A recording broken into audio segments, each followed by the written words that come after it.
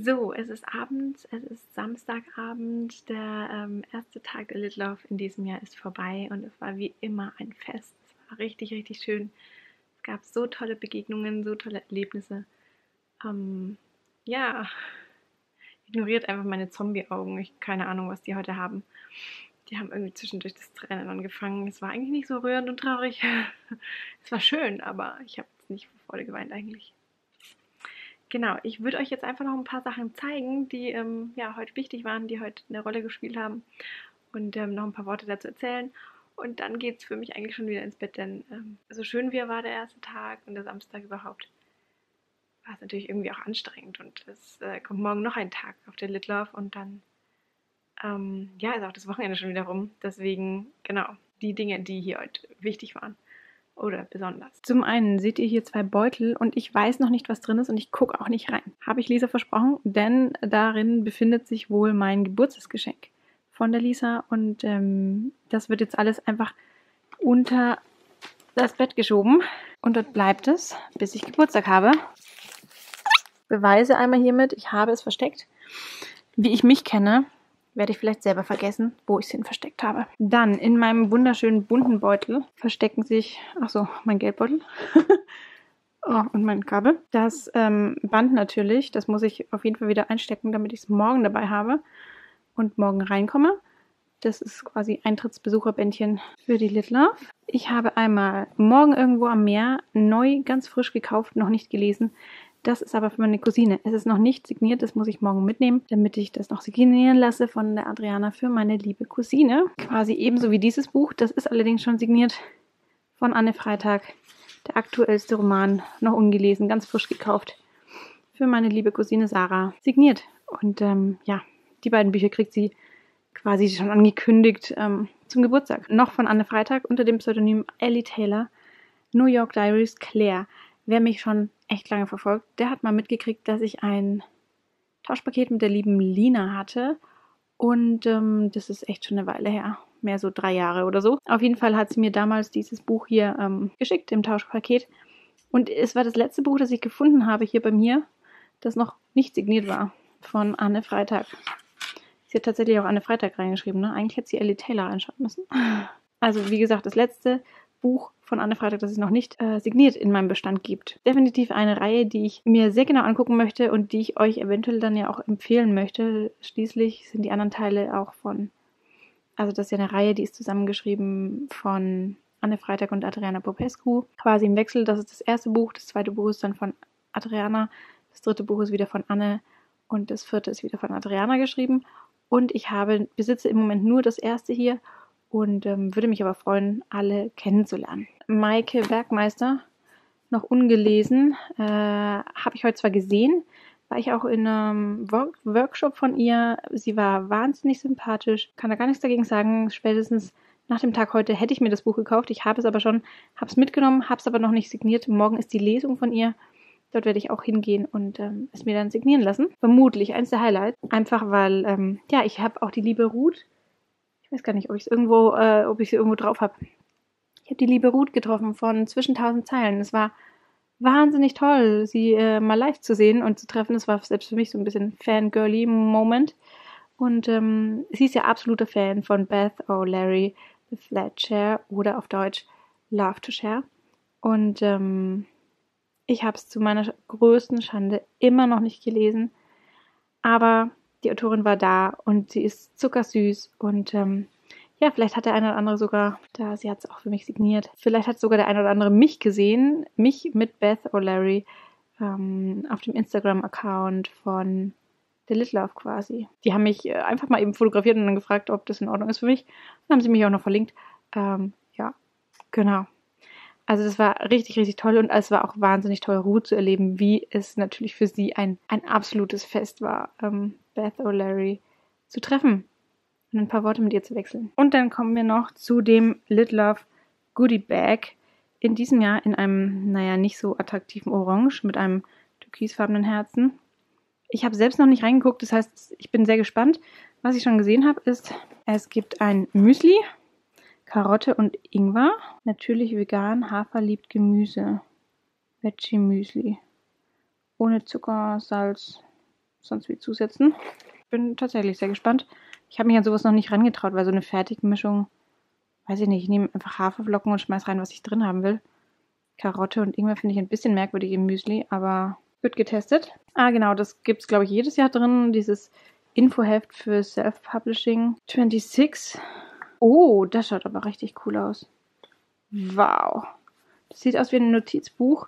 Und zwar vorne drauf mit dem Cover von Markus Zusek. Nichts weniger als ein Wunder. Gucken mal rein. Aber ich denke, es wird ein leeres Notizheft sein. Genau. Da steht vorne noch ein Satz. Ich will von meinem Bruder erzählen, dem vierten Dunbar-Jungen mit Namen Clay. Ihm ist alles passiert. Wir alle haben uns seinetwegen verändert. Es ist wunderschön aufgemacht, finde ich. Es sieht halt einfach echt wie so ein richtiges schönes Buchcover aus. Dann eine Karte. Guter Geschmack ist das schlimmste Laster, das jemals erfunden wurde. Vom Wunderraum Verlag. Eine Postkarte. Anscheinend auch ein Buchtitel oder ein, ein Buchcover. Oh, davon habe ich schon was gehört. Ich, ich hatte es noch nicht in der Hand. Ich habe es auch noch nicht gekauft.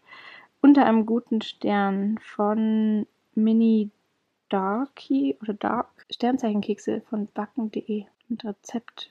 Mhm. Ja, also das Buch ist anscheinend. Ach nee, das ist noch gar nicht erschienen. Oh, ich dachte, doch. Warte mal, wir haben November. Doch, es ist erschienen, aber noch nicht so lange. 21.10. So sieht das Buch aus. Unter einem guten Stern. Vielleicht habt ihr es schon gesehen. Spannend fand ich es irgendwie. Der Azubi Instagram-Kanal Inside Random House von Julia Kautz signiert. Okay. Julia Kautz ist ähm, Sängerin, Musikerin. Sie macht Musik in den Pausen, in der Mittagspause. Beziehungsweise hat sie schon gemacht und ist auch wohl unterwegs. Ich werde mir die Musik auf jeden Fall auch nochmal genauer anhören, denn ich fand, es klang schon richtig gut, was man so mitgekriegt hat, aber ich kenne sie gar nicht, also, oder kannte sie bisher nicht. Einmal die Mainz Zeitschrift. Bin mir immer nicht so ganz sicher. Ich bin nicht so der Zeitschriftentyp. Guck's mir mal an, das Heft. Ich bin da ja irgendwie zu geizig oder zu, weiß ich nicht. Alle schreien festhalten, nur mein Herz flüstert springen. Zum Buch von Maike Werkmeister. Sterne sieht man nur im Dunkeln. Ein Tassenkuchen. okay.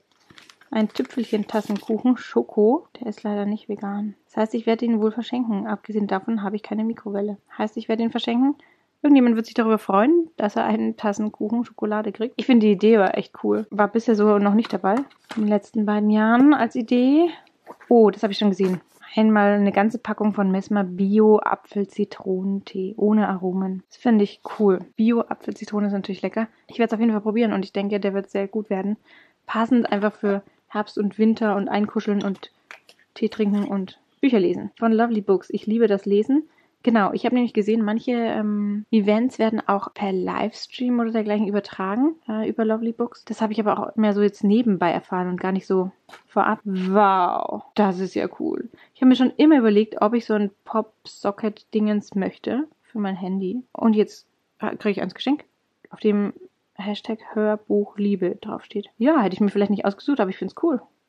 Ich finde es echt cool. Ein Strawberry Lemon Daiquiri also Alkohol, ähm, ja, auch eher weniger was für mich. Ist allerdings, weil es jetzt in kalten Auto war, schön gekühlt. Ich werde mal gucken, ob ich es verschenken kann. Oh, ein, ein Klebezettel, ähm, Block mit Love to Share. Schön, es passt auch einfach dafür. So, es nimmt irgendwie kein Ende. Kann es mir fast denken. Eispulver für Speiseeis. Weiß ich nicht so genau, was da so drin ist. Bei so viel Schrott sieht es gar nicht aus.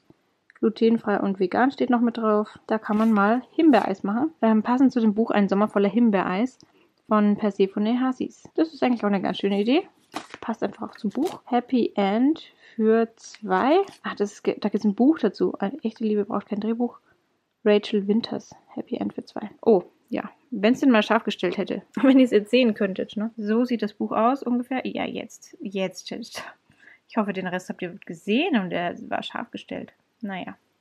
Sonst muss ich nochmal drehen. Von Dear Evan Hansen. Auch noch so ein Zettelblock. Heute wird ein ganz fantastischer Tag. Ich finde es auch spannend, es ist relativ viel dabei, von dem es kein Buch äh, aktuell gibt oder niemand da ist. Und ein Stift dazu anscheinend, weil da steht auch drauf, heute. Heute wird ein ganz fantastischer Tag. Ein Choi ist noch drin. Saft, okay.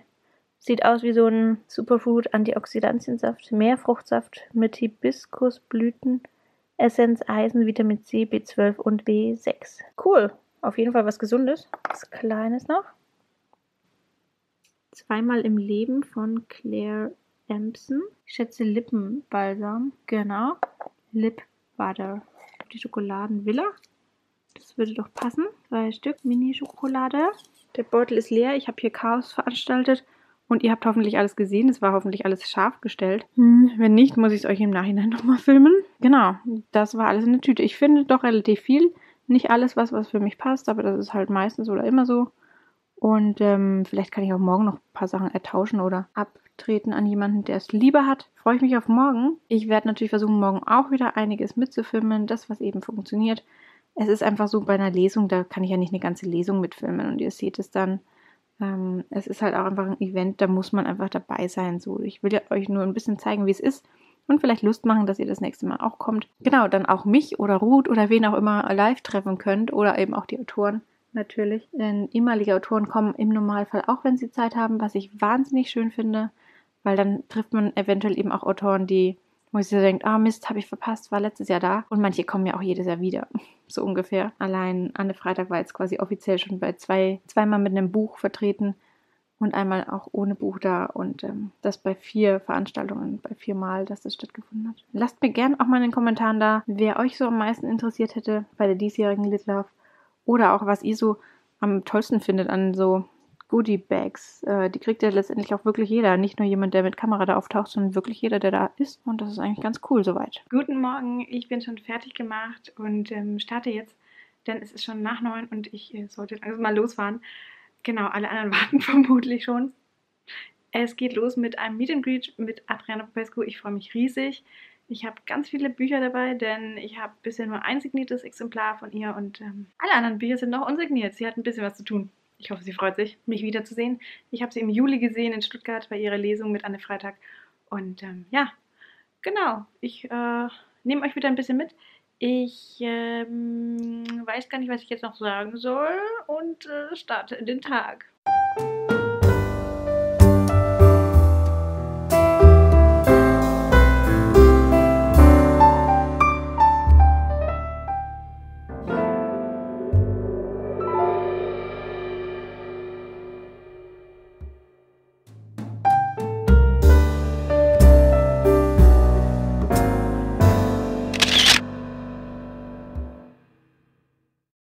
Ja, schön, dass ihr alle da seid.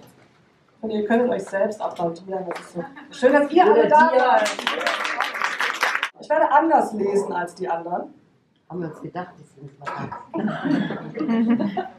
Also für alle, die schon mal auf einer Lesung von mir waren, leider hat mir der Verlag die äh, halbnackten Männer gekürzt. Und äh, die Konfettikanone habe ich hier leider auch nicht reingekriegt. Aber wir haben eine Disco-Kugel, die aus ist ja, ich bin auch traurig. Aber ich nehme noch mal einen Schluck, ne? Ist ja eine gute Luft hier drin. So, ich bin gerade reingekommen. Es ist nach halb zehn. Äh, Sonntagabend. Ich, äh, oh Gott, nee, ich gucke mal nicht mehr rüber ins Chaos. Ich, ja, bin gerade heimgekommen. Ähm, die Litlove ist rum. Äh, schade, schön war's. Ich äh, freue mich jetzt schon aufs nächste Mal. Kann gar nicht sein hier. Das läuft hier irgendwie an. Ach so, ich weiß warum, weil die Kamera kalt ist. Hm. Jetzt passt es wieder und jetzt läuft es bestimmt gleich wieder an. Naja, hier ist es warm. Ähm, genau, Litlove ist vorbei, die zwei Tage. Irgendwie schade. Heute Morgen habe ich ähm, Adriana Popescu überraschen dürfen. Ganz liebe Grüße gehen raus an dich. Und ja, ich mache wieder Videos, dann nur damit du es weißt. Und ja, du bist schuld. Ähm, sie wusste meinen Namen direkt. Und ich stand da so mit einem kleinen Stapel von ungefähr zehn Büchern. Ähm, ja, zehn ihrer Bücher. Sie hat ja schon mehr rausgebracht als zehn. Und ähm, genau, die äh, durfte sie signieren für mich, beziehungsweise eins davon für meine Cousine. Und äh, ja, genau, da hat sie dann direkt erstmal ihr, ihr Handy gezückt und ein Foto von mir gemacht, dass ich so verrückt bin und mit zehn Büchern auftauche.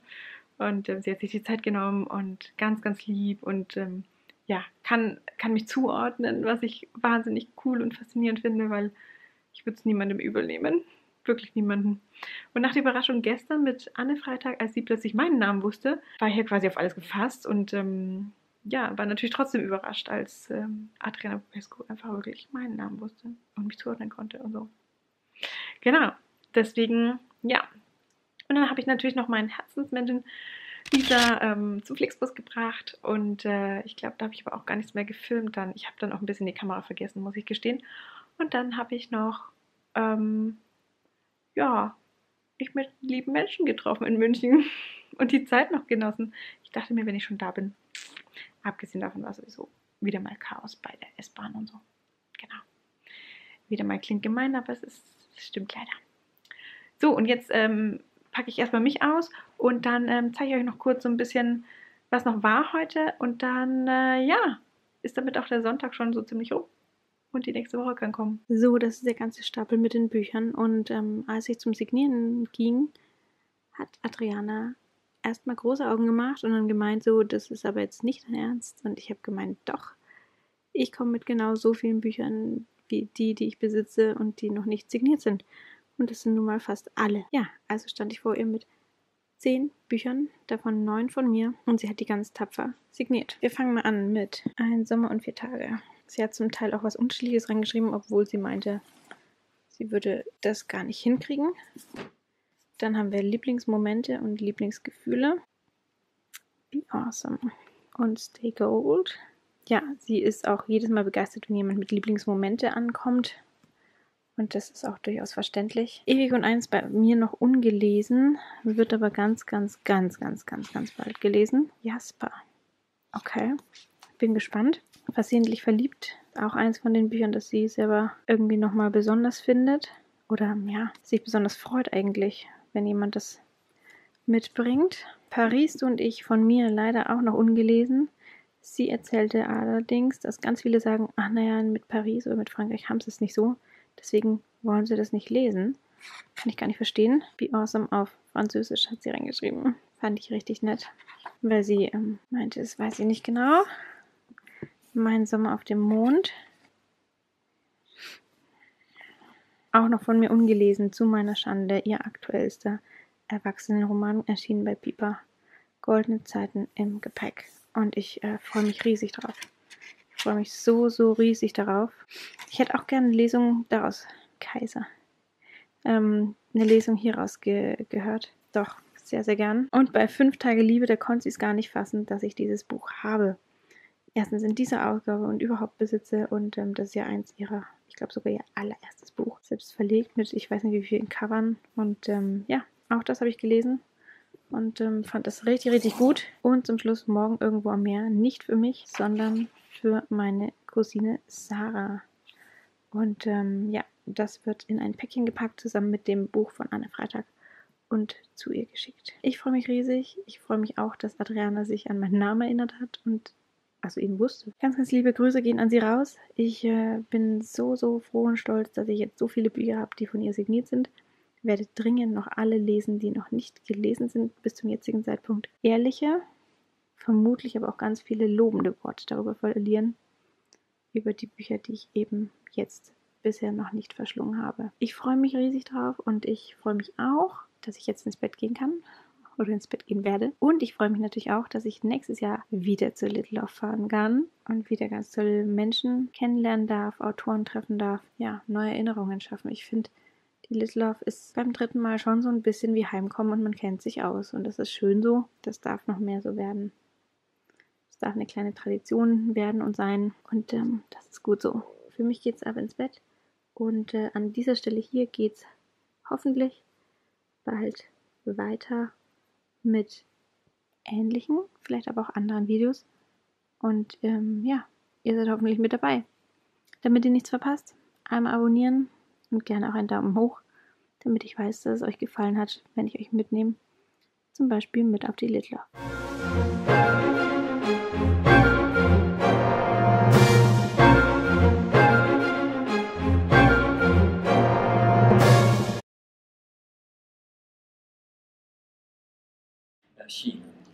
Dankeschön.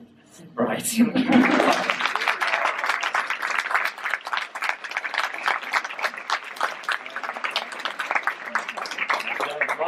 German is terrible, right?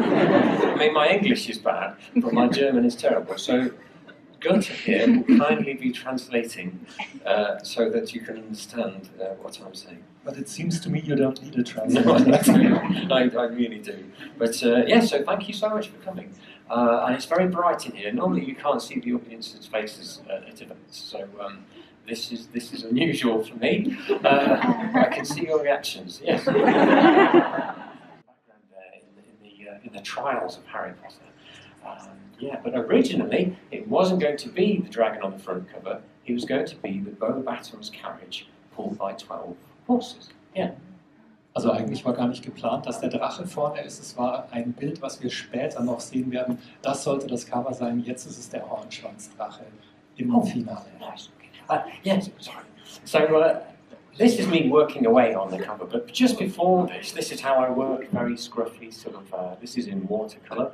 But before this, I wanted to show the Beauxbatons carriage view. Um, I met Sebastian Meschenmoser the other day, and he had his horses walking along in very long grass, which is, which is exactly what I normally do.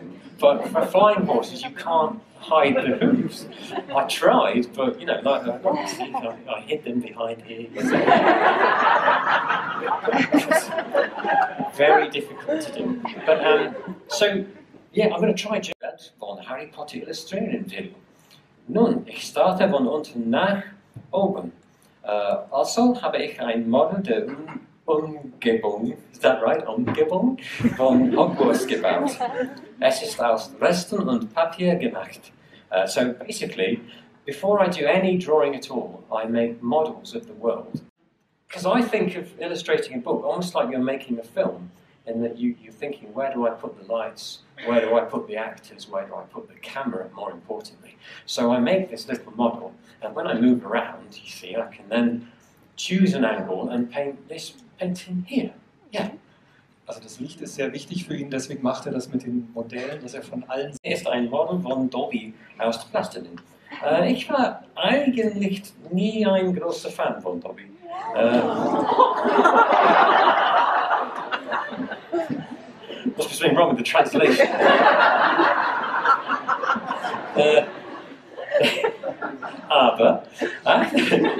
Äh, nachdem ich dieses Model gemacht hatte, fing ich auf einmal an, zu mögen. Yeah, is that correct? Yeah. So I, started to. Well, that sounded terrible. I'm so sorry. I'm not going to. I won't do any more German. So. Uh, yeah, so I, I had this model uh, of Dolby, and I started to grow sort of fond of him using uh, house paint, you know, uh, paint walls with and stuff. Uh, Wandfarbe. Bun, mm, is that right? Yes. I don't know. Yeah, uh, you know, just decorating paint, so for the walls, uh, very cheap. Uh, hippogriff or something, I don't know how to say it. in- What exactly do you mean? Hippogriff, hippogriff, the uh, hippogriff. Ah, hey, and look, I just very cleverly hidden the feet.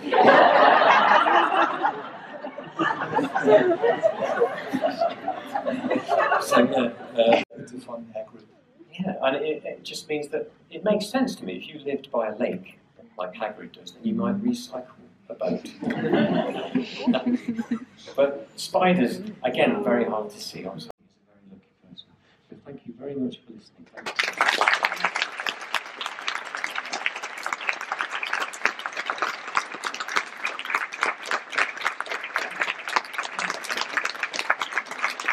Welcome, thank you. Thank you. Um, you mentioned J.K. Rowling twice this evening. Yeah. Um, is there any kind of contact to her?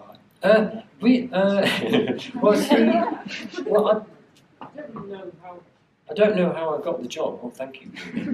Ich bin durstig, sorry.